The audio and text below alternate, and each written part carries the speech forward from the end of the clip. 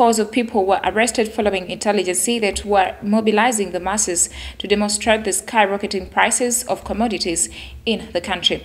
According to police a spokesperson, those arrested include local leaders in Kawempe division who have been commanding the business community not to dare open their business as a sign of demonstration against the current high cost of living. We have the report.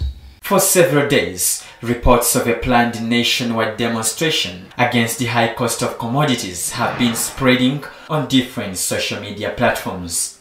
These reports also indicated that no one was supposed to engage in any productive work or even open their business premises as a sign of dissatisfaction.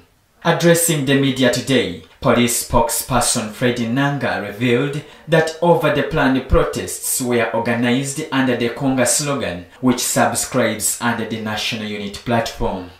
Police alleges that these threats are instigated by a number of local leaders, especially in Kawempe division, who are moving around telling people to stay in their houses. A number of these leaders were arrested. In Jinja district and other places of eastern Uganda, it is said that demonstrations had begun, but police were quick to disperse the masses. Meanwhile, two more people have been arrested in connection with the murder of Kamocha LC3 chairperson James Kakoza.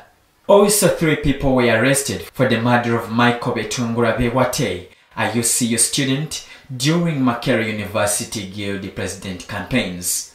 From Kampala and metropolitan areas, the police are investigating the murder of a one Kabanda, a habitual thief in Nansana. Meanwhile, the National Task Force on Human Trafficking registered 64 cases of human trafficking last month, and these constituted mostly cases of aggravated trafficking in children. Mbale and Kampala districts took the lead. According to Agnes Igoye, the deputy coordinator for the National Task Force on Human Trafficking says that last month the number of offloads of human trafficking victims increased. This is part of the effort to curb cases of human trafficking in the country.